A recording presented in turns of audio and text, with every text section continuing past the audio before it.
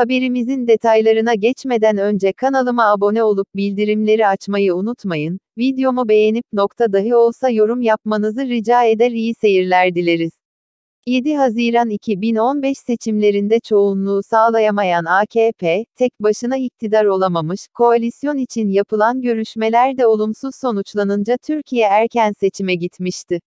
1 Kasım 2015'te gerçekleşecek seçime giden süreçte ise Suruç ve Ankara patlamaları gibi birçok katliam yaşanmıştı. Seçimlerin sonunda ise AKP tek başına iktidar olabilmişti ancak 5 aylık dönemdeki katliamların arka planı hala gün yüzüne çıkmadı.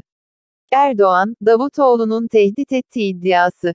AKP'nin başında Ahmet Davutoğlu'nun bulunduğu döneme ilişkin soru işaretleri henüz giderilememişken, Zafer Partisi Genel Başkanı Ümit Özdağ, katıldığı bir televizyon programında tartışma yaratacak bir iddiayı öne sürdü.